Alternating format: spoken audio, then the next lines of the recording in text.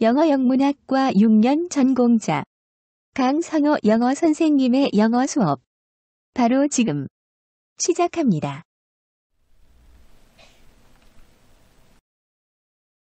자, 이번 시간에는 명사 뒤에서 후치 수식하는 과거분사 구에 대해서 잠깐 살펴보겠습니다. 자, 명사 뒤에서 후치 수식하는 과거분사 구에 대한 설명입니다. 분사가 명사로 수식할 때 명사와 분사가 수동관계이면 과거분사를 씁니다. 과거분사가 단독으로 쓰이는 경우에는 대개 명사 앞에서 수식하지만 과거분사에 수식어구나 목적어, 보호 등이 이어져서 구를 이룰 경우에는 명사 뒤에서 후시 수식합니다.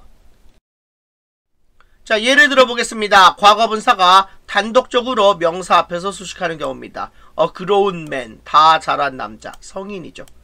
이렇게 과거분사가 명사 앞에서 꾸며줄 수 있습니다. 근데 과거분사가 구를 이루어서 명사 뒤에서 수식하는 경우도 있죠. The soccer player, 그 축구 선수는 injured by the tackle, 태클에 의해서 부상을 당한 그죠. 태클에 의해서 부상을 당한 그 축구 선수는 left the game, 게임을 떠났습니다.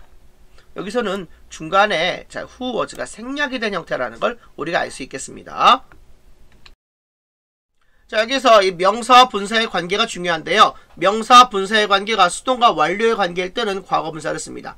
하지만 명사와 분사의 관계가 능동과 진행의 관계일 때는 현재 분사 ing 쓴다는 거죠. 예문 들어보겠습니다. uninteresting story. 흥미있게 만드는 이야기입니다. 그러니까 현재 분사 ing 쓰는 게 맞다는 거죠.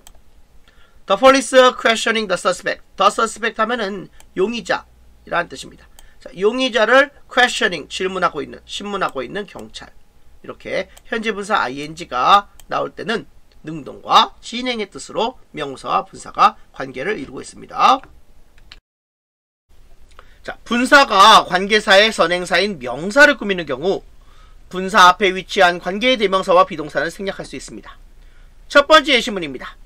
I saw a boy who was sleeping alone.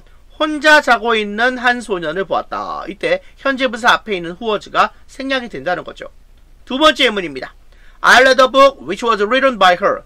그녀에 의해서 쓰여진 책 한 권을 내가 읽었다. 여기서 과거분사 written 앞에 위치한 which was가 생략이 됩니다. 세 번째 예문입니다.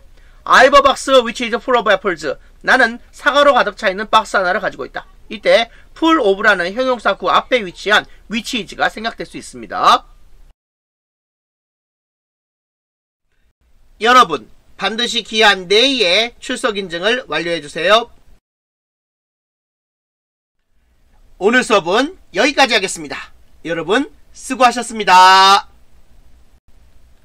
동영상의 저작권을 반드시 지켜주시기 바랍니다.